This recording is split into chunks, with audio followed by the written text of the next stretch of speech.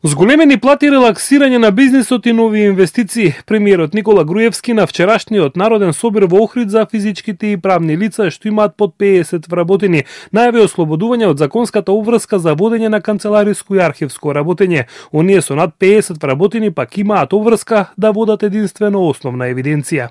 Физичките лица и правните лица од приватниот сектор со помалку од 50 вработени ќе бидат ослободени од законската обврска за воведување на канцелариско и архивско работење, согласно одредбите од овој закон.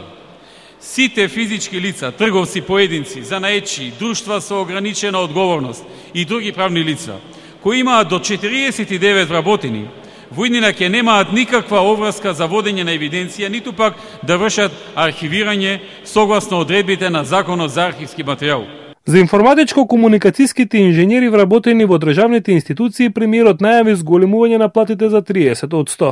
Владата размислува и прави анализа за инженерите кои работат во секторите ИКТ, информатичко-комуникацијски технологии, во државните институции, да се направи зголемување на нивните плати за 30%.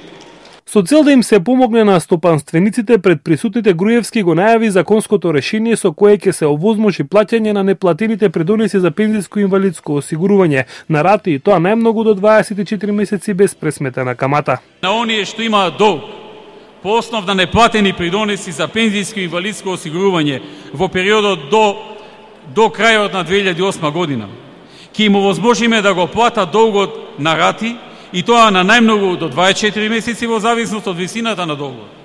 А исто така ќе бидат и целосно ослободени од плаќање на каматата за неплатените придонеси до крајот на 2008 година.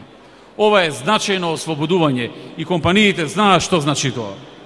Второ, втората ситуација, доколку пак некој има долг по основ на неплатени придонеси од пензиско и инвалидско осигурување во периодот од 2009 година до крајот на 2014 со закон ќе овозможиме да го плати главниот долг, долгот по основ на неплатени придонеси од пензиско осигурување на 12 или на 24 месечни рати. Само преку активните мерки на владата во Охрид невработеноста се намалила за 1500 лица или од 2007 година до сега бројот на невработени од 29 се намалил на 21.000.